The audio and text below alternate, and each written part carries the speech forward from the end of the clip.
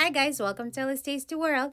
Today I want to share with you my BJ's Wholesale Club grocery haul. I like to shop there monthly for healthy snacks and produce to stock up and save for my family. Before we begin, make sure to like, share, subscribe, and hit the bell to turn on the notifications so you don't miss any of my future videos of healthy hauls and recipes. When it comes to milk, you want to purchase 100% grass-fed organic whole milk since it has higher omega-3 fatty acids. For a dairy-free option, I love this organic coconut milk by So Delicious. Make sure to get the unsweetened version.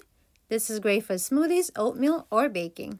When it comes to eggs, the best eggs at BJ's are these Pete and Gerry's organic eggs. They're great for meal prep. You can boil them in advance to add to any salad or eat them alone as a snack.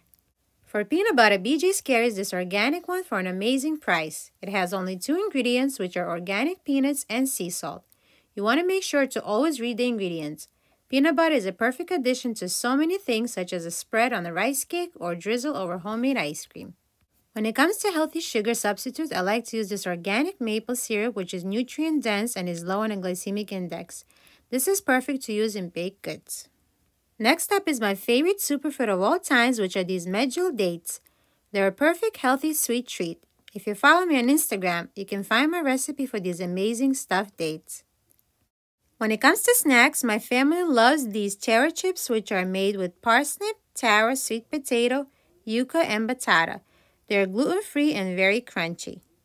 For protein, my kids love flounder and BJ's carries this wild-caught flounder for an amazing price. They're individually vacuum packed so you can easily defrost a portion at a time.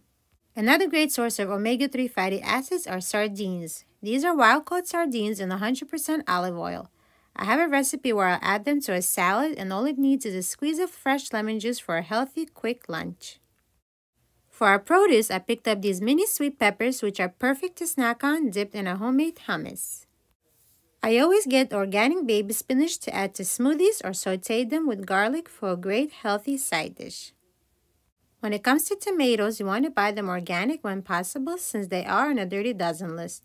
These are great to snack on or to add to fresh salads.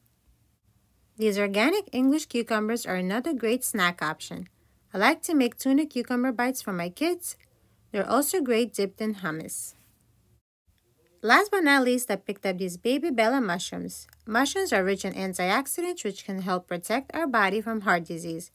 I love to saute them with onions, garlic, and spinach for another great healthy side dish. This is everything I picked up this month. Please comment down below what are your favorite healthy grocery finds. Smash that like button, share, and subscribe for more healthy hauls and recipe ideas. Thank you, and I'll see you guys next time.